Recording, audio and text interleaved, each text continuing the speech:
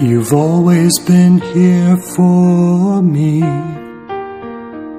from the very start. You've held me in your strong arms.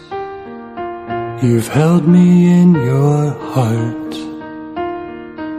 And I love you, Dad.